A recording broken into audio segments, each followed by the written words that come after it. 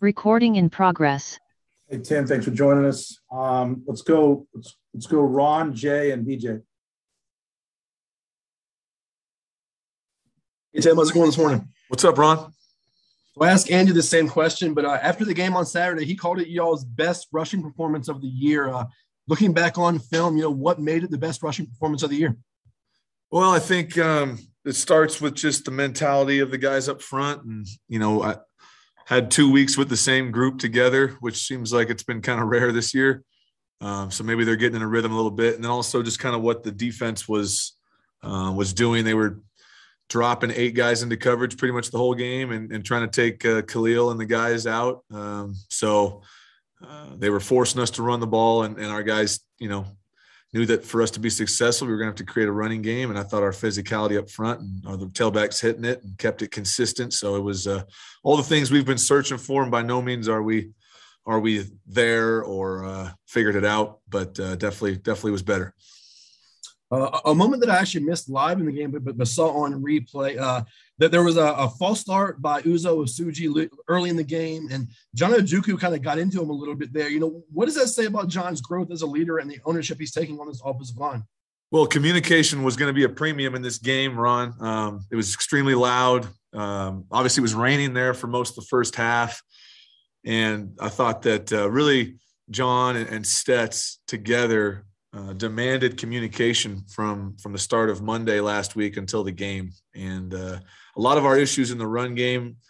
Uh, I really believed we were coming out of it the last few weeks. We ran the ball decent against Utah State. We ran the ball well against Nevada, but what got us was the pre-snap snap issues, the communication up front, um, and so it was more about hey, let's get that solved, and then we won't have these negative plays. And so I think John and Stetz made sure that that was taken care of during the game, and, and the communication was, for the most part, at a really high level. And in an environment like that, that was impressive. But he's been a good leader all year, Ron, and he holds guys accountable. He practices as hard as anybody. He demands a lot. And I know uh, uh, he was demanding a lot out of Uzo in that moment, which is which is good leadership. And uh, going back to the running game for a sec, obviously, uh, Holani's banged up. Habibi Likio got banged up last week. I mean, do you expect to have either, either of those guys this week? And if not, how does that change your, your game plan? I, I don't know about that yet. It's too early in the week. I'm hoping, Ron. I'm really hoping that we have those guys, obviously. Um, but uh, you know, everyone everyone's beat up, everyone's young, everyone's thin. You hear a lot of coaches talk. They do the same song and dance. We're not going to do that. We're going to play the guys that are ready to roll. Feel good about the guys we have and uh, and we'll see we'll see where we're at the end of the week. But I'm always hopeful we have you know Cyrus and George ready to roll because those guys are good players. What do you lose when you don't have those guys? I think just you know we've talked about George's ability to just kind of make people miss at the line of scrimmage and turn like he'll turn the one yard run into a five yard run that a lot of guys can't do. Um, and then I thought Cyrus, you know, on Saturday was running really aggressive. I mean, he was downhill, uh, moving the pile, getting behind his pads. So he's got that ability to um, still make guys miss, but I think he gets a little downhill as good as anybody right now. And so I think without those guys, plus they both catch the ball really well out of the backfield. So um, just different styles with all the running backs, just kind of fitting the things that fit those guys best. Was is, and we'll just have to adjust based on who we have. Thanks, Coach. Thanks, Ron. Tim, what's going on? What's up, Jay? How are you? Chilling, man. Um, with uh, if you go back and you look at Saturday's game, you guys get down 10 nothing. BYU plays that drop eight coverage. How important was it to stay patient and not try start, you know, throwing bombs down the field and, and just being patient with what you guys did and running the football and, and kind of taking what they gave you? How important was it to just be patient with that?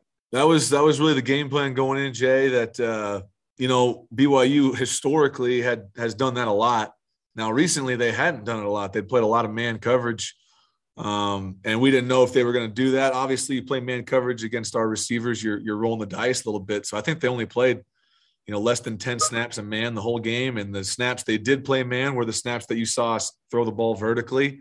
Um, and the rest of the game was just we're going to have to run the ball. We're going to have to be efficient, and take the underneath passing game, and and uh, I was really proud of our guys for uh, sticking to the plan, being disciplined you know, and everyone wants to put up and look at stats and how many yards or how many points, but man, if you, if you win the game, you're a winning offense, right, Jay? So it's just putting together a good game plan that's best for the team, not necessarily best for putting up stats or putting up numbers. And and uh, I was really proud of our guys for they understood to win that game that was what we are going to have to do, and they stuck with it. And, and uh, our defense did a great job forcing some turnovers, and we knew that was going to be a big part of the game too. You kind of lead me to my next point. Like it's funny, you look at the end of the day, 312 total yards, and it's like ah, nothing to call home about, but you guys had short field positions. You ran the ball effectively when you needed to. You also probably had a couple less possessions in the game just because of how well you guys ran the football too. So uh, when you do win a game like that through physicality, as a guy that maybe some kind of assume is you know is a, is a spread guy that likes yep. to throw the ball up tempo, like what, what goes through your mind when you when you can win a game this way? I think it's just you know as you grow as a coach. You know, when I was a younger guy, it was like, man, I just want to score as many points as possible. I don't really care what else is going on. And as you get older, you just realize you got to do what you got to do to win that that game. Like, what do we need to do to win that game? And uh, yeah, we didn't have a lot of possessions. In fact, there's been a couple games this year we've had the least amount of possessions I'm used to. But I also think that you get in those kind of games, and you got to realize the kind of game you're in. And that particular game, it was going to be us keeping our defense off the field with as banged up as they were, um, and trying to control the game a little bit. And knowing that they were going to drop eight as much as they were, it was going to come down to just Hank being smart and delivering the ball, and our tailbacks getting downhill, and our guys being physical. And the bummer is, you know, obviously we kicked four field goals, Jay. So if those four field goals are four touchdowns, you know, that's 16 more points. Now it's 42 points. Now everyone thinks we're the greatest thing in the world, you know. So it's just, it's just sometimes you look at the stats, it doesn't tell the whole story. Um, but I think our guys did a great job of understanding what it was going to take for our team to win the game, and we played as a team, which was really cool you know, th- this just might have been some moments that the broadcast caught throughout this game, uh, but it just seems like you and Andy um, are working pretty well together. I, and like I said, it just might have been a couple moments the broadcast just happened to capture. But how has your guys' communication and relationship as head coach, offensive coordinator, kind of evolved as we, you know, are over halfway through the season now? Well, I think um, like we said when we first got here, I, I, never really knew Andy, right? We just had the same mentors and the same thought process and the same beliefs. But um, being around him now for several months, there's not a person that I uh, respect more in, in coaching.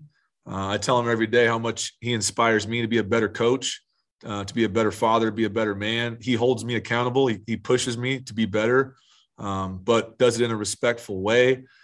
Uh, so he put he, he, really creates a situation where you want to do really well for him. Um, and so even when we won the game, I just told him I loved him. I was super happy for him because he is a tremendous coach.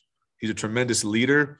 And sometimes the outcomes aren't what we all strive for. And people outside maybe this building don't understand how talented he is, um, how inspiring he is, and how much we all really love him. Uh, so for me, it's just I want to do well for him, and so I do think our relationship is growing that way, and just getting to know each other and what works and what's best for this team this year for us to win games in this season, and we're we're starting to figure that out, I think, and hopefully we can we can keep that going. Uh, one more quick one, Tim. Uh, Hank said that he's going to buy the offensive lineman steak dinners this week. Do you support that? man, I uh, I don't know if he's got that NIL money or what's going on, but sure, he better he better buy those guys something. They did a great job. The only sack we took was his fault, so he better buy him something. Thank you, Tim. Yeah, thanks, Jay. How's it going, Tim? What's up, EJ? Not much. Um, I called it in my story that the your most important, most impressive drive of the season, the one late in the game where they had just scored and cut it to six or whatever, and, and you guys, you know, needed that drive to use some clock. You go down there, Khalil makes that catch, but you get that field goal to go up nine. How important, just given the whole talk about the second half narrative and all that, and just uh, being aggressive there and, and putting that game away, how, how, how impressive was that for you? Huge. I mean, I think if you cut out the four minute drive, I think we only had four drives in the second half, right? So, um, I thought the drive to start the second half was really important, BJ, because we've had some struggles coming out of halftime, and that's been a focus of ours. Okay, for, so for us to have an eight minute drive or whatever it was, and basically run the rock was super important. And then, you know, they cut the lead to six, and uh, you know, Andy and I just talked like, hey, you know, probably got to throw the ball a little bit here. Let's be aggressive. Let's not just let's not, you know, lean on one thing. Let's let's let's be us. And uh, they played some man coverage that drive early, so I had a feeling they were going to keep playing man coverage and they were going to be aggressive. And so we we caught them in some in some looks where we could take advantage of it. The third down where we hit the Shaq, and then um, we were just kind of waiting all day, like hoping they would play man, hoping they would play man, hoping they would play man. And we finally caught him. And and uh, I mean, what what are you going to say about Shaq? That can't be said. Big players make big plays. Um, and that's where we're going to try to get the ball to him in, in, the biggest spots. And what a, what a tremendous play! That was that was a great drive and championship drive. Wish we could have got a touchdown though, BJ. Too many field goals, but we'll take it. After the, I know we've talked about the O line, but you know Hank mentioned like four times how happy he was for Coach Keane and for the O line because of the criticism they had been taking. And you know I think the criticism was justifiably so at times this year. But for them to you know, I know the O line always that's just how it is, but for them to have a game like that and put it together when at this point, I think a lot of people thought maybe it wasn't possible at this point in the season to turn things around up front. What what just what was behind the turnaround and, and what what do you what does it say about Coach Keane and that group that they were able to have a game like that? Yeah, it's it's uh it has not been easy for those guys. And we tell them all the time, hopefully control what you're putting into your mind, right? I mean, control what you're taking in and make sure what you're taking in is positive stuff. You know, turn your Twitter off or don't read some of the stories that are being written you know not no disrespect but stay away from that stuff and and just focus on the process of getting better. But i think for me it's you know it's seeing the tears in oj's eyes at the end of the game understand how important it was for him to play a game like that. And um, i don't know if they're basing it on on what's being said by the media or what's being said by the critics. I hope they're not but sometimes it's hard to avoid that. Uh, tim keane's obviously been thrown through the ringer and and he's working his butt off to get this stuff fixed and we're all working together to figure it out. But uh, it's a, it's a collective effort bj if we're not running the ball it's everybody you know and obviously the o line is going to take the brunt of it. And if if people want to sling arrows at coach keane you know we're, we're big boys we can handle it. But if we're not running the ball it's on the tight ends the quarterbacks the running backs the wideouts. It's on all of us to figure that out. And like i said the unfortunate thing was i thought we were on the right track at utah state we were running the ball really well at Nevada, and it really came down to our communication and the negative plays. And so we wanted to solve that. And uh, we we felt good about our ability to run the ball, even though no one else did. And I think it was just again, I think it was emotional to see those guys at the end of the game feel like they they got off to a good start. But again, by no means have we accomplished anything. Um, we can still run the ball better. We can still play better offense. And so um, it's back to the drawing board and see if we can get a little better this week. Air Force defense. I, mean, I know they had a lot of guys that didn't play last year and came back. And you look at a guy like uh, Vince Sanford coming off the edge. Uh, you know, what what stands out to you about what Air Force is doing defensively? Always extremely disciplined unit, right? And you wouldn't be surprised to say that word when you're talking about the Air Force Academy. And uh, but they're extremely disciplined in what they do. Um, they got some really good players up front. Number 94 is a tremendous player, um, and really enjoy watching him on film. They've got some guys that have played a lot of football, so they're going to be very confident as they should be. Uh, they believe in their system and what they do. Uh, it's going to be a it's going to be a tough effort for us to be able to move the ball consistently against those guys. Thanks, Tim. Thanks, I BJ. Read my stories anyway, so no one does. It's all good. Let's go, John, Will, and Mike. Coach, how proud of Hank Bachmeier are you right now just to talk about that a little bit what he's been through and how he's leading this team this season? I mean uh he checked 15 plays at the line of scrimmage during that game right? 15 times during the game he got into a different play right? Which is that's what professional quarterbacks do you know? And how hard is it when you have great receivers and they're not going to let you throw the ball to them? You know that's takes a lot of discipline. And uh, I thought he played his best football game this year uh, by far. And the numbers aren't going to state that, right? 170 yards or whatever, no touchdown passes. But that was true quarterback play. That was that was a high level quarterback play, and still, you know, Andy and I are going to be all over him for the two or three plays he made where he, you know, goes John Wayne on us and gets crushed and gets the intentional grounding. You know, we gotta we gotta get rid of those handful of plays where he just goes John Wayne on us. But everything Hank does, he does out of just pure competitiveness. So it's trying to wrangle in those few plays. But that was that was high level quarterback play, John. High level quarterback play in that game. I was very proud of him. And and George Holani, I mean, just uh, the kid doesn't seem like he can catch a break here.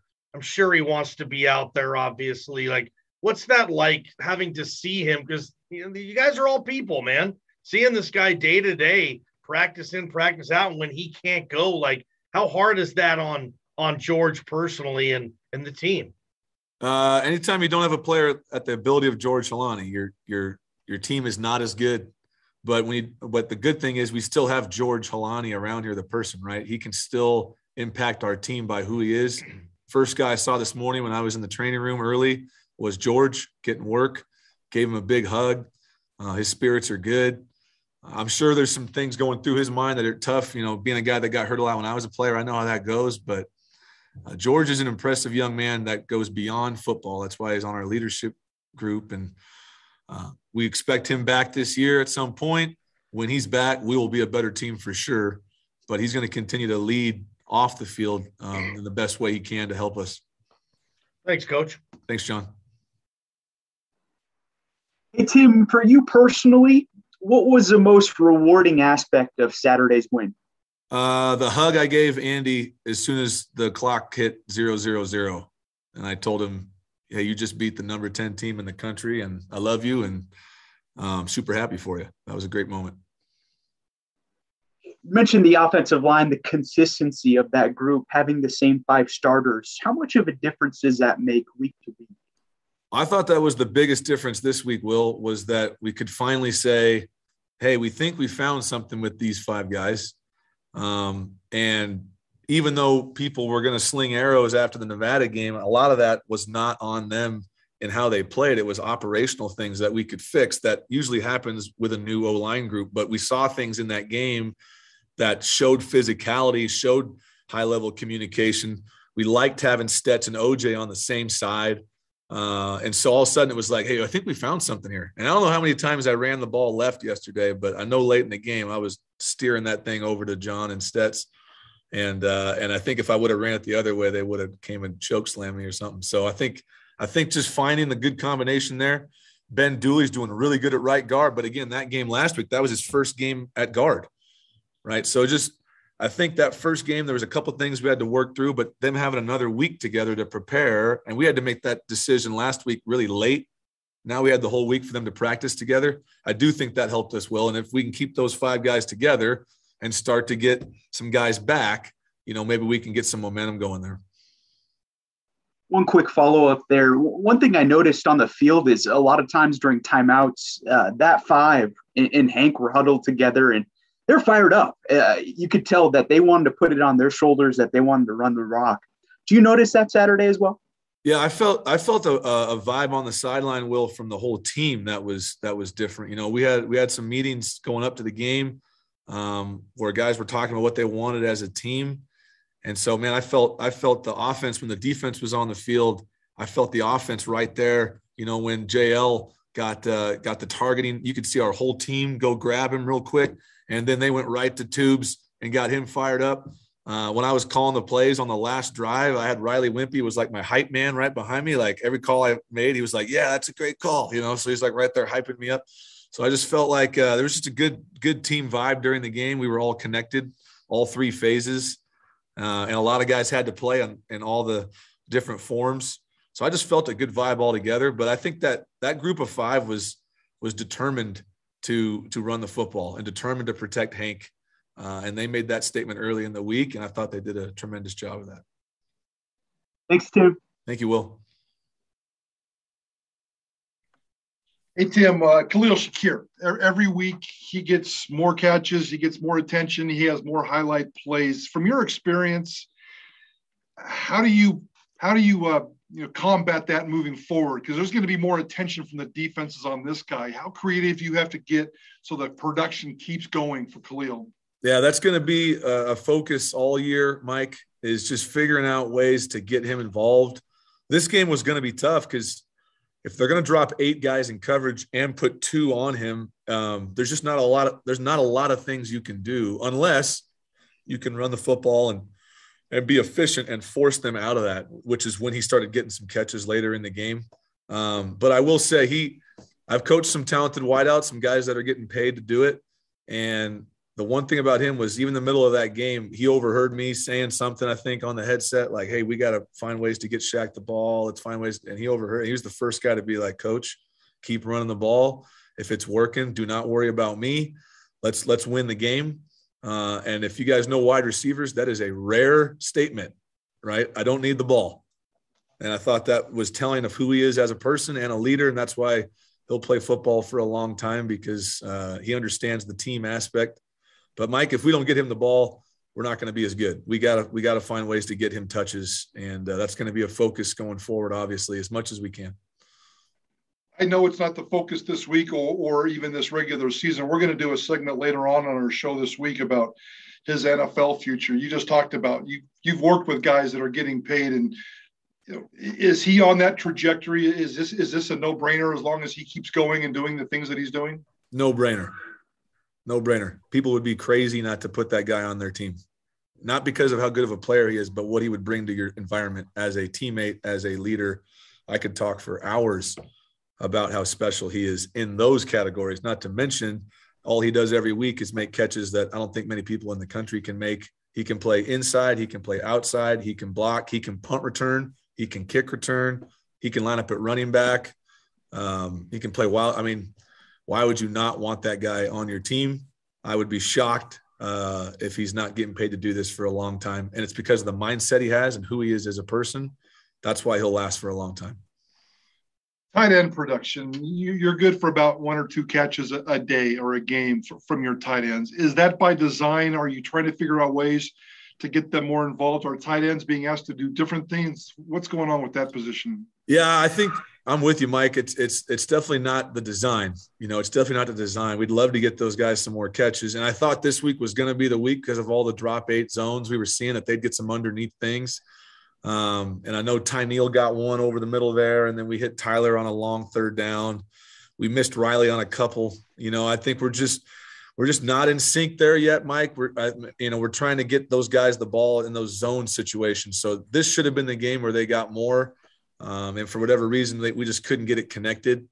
Uh, but th- we definitely want that number to go up, and uh, that's something we've been looking at during every week is how can we get that number to go up, especially with a guy like Riley, trying to get him some more catches in, in space and get him going. And we just we've missed him a couple times the last few weeks. We just got to we'll keep working on that and hopefully get him some more touches for sure. Tim, thank you. Thanks, Mike. Bob Behler. Tim, when you set out to have a game plan, does it come the way you thought it would be, or in, in this week in particular, or did it evolve as the game went along? And I'm speaking of the amount of times you ran the football. Was that something you thought you would do before the game started, or is it something that kind of evolved with the success and kept going? you definitely have a game plan going in, Bob. That that sometimes you go in and after the first drive, you just kind of tear it up and you know throw it away. Um, but this was one of those games where we knew going in they were going to have to make a choice, just their style of defense, and we were ready for that choice. Like, what's it going to be? we talked to our guys all week about, hey, let's just let's prepare ourselves. It's going to be one of these two things. They're either going to play man coverage like they've been doing to Utah State and everybody else, and if they do, then okay, it's bombs over Baghdad. Let's roll, you know. But if it's if it's going to be drop eight and they're going to test us, then we're going to have to roll our sleeves up and, and get after these guys and be physical. And, and quarterback's going to have to be really humble and get through his progressions and get the ball to the backs and get the ball underneath. And um, I just, it, it was early on, you could tell it was like, okay, that's what they're going to do, especially when they got a quick lead hey, why not do that? Let's make these guys run the ball and let's see if the quarterback can be disciplined. And they tested us, and and so uh, they were ready for it, and then they um, they executed the plan positively. Still some things we can get better at, Bob, but but uh, they executed that plan well. A lot is made of Air Force's offense being so unique with the triple option. Is there anything their defense does that's unique? I don't know if there's anything their defense does that's unique that we don't see, but I, I do think like I was saying, they they don't make mistakes. Like they don't they don't drop guys in coverage. You know, they don't miss tackles. They do all the things that good football teams do, right? They they're gap sound. They tackle extremely well. They force turnovers if you're sloppy with the ball. They get pressure on the quarterback. They do all the things that a good football team does, which doesn't surprise you. I think their their offense gets a lot of the headlines because man, they run they run the snot out of the ball and they're going to hold on to the ball for a long time and make it tough on a defense. Uh, but you can tell they have a team mentality, and, and it's obviously not surprising with the type of kids they get at their program. And um, so we know the the test we have this week is is a big one. Uh, we can't be resting on what happened yesterday. You know, we always say the the easiest the easiest day is yesterday, Bob. You know, there's a challenge today every day. We got to meet that challenge and find joy in that challenge. So the easiest stuff's behind us. We gotta gotta move forward. Good luck this week. Thanks, neighbor. Mm-hmm. Tim, appreciate the time. We'll, we'll, get you out of here. Thank you very much. All right, guys. Have a good week. Thanks. Tim. Love that out.